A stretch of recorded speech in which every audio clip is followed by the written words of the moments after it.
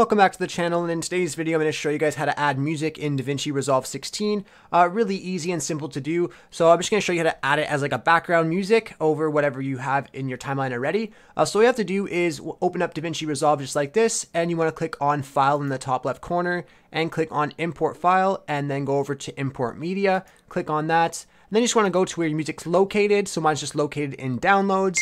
You just want to click on the MP3 file and click on open and it'll just add the music over to your little media pool here. And then all have to do is drag that over to your timeline to put it on the timeline.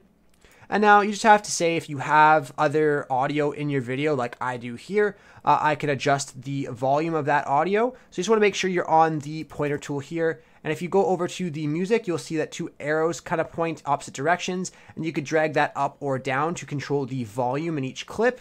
Uh, so if you want the background music to just be uh, more, more backgroundy and not to affect like your main audio, I would go bring down the music audio a little bit, and then you could test and see how it sounds with your other audio. So just click on that, and then you can make the judgment yourself. Uh, but yeah, so that's how you adjust uh, the music audio in uh, DaVinci, and that's how you add music as well into DaVinci. I really hope I was able to help you guys out with this video. If I was, be sure to leave a like and subscribe for more tutorials. Thanks for watching.